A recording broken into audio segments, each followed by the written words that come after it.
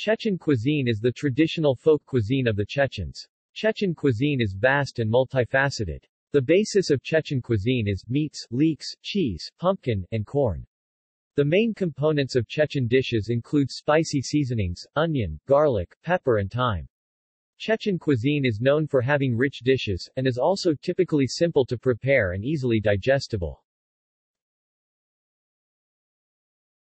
Gallery References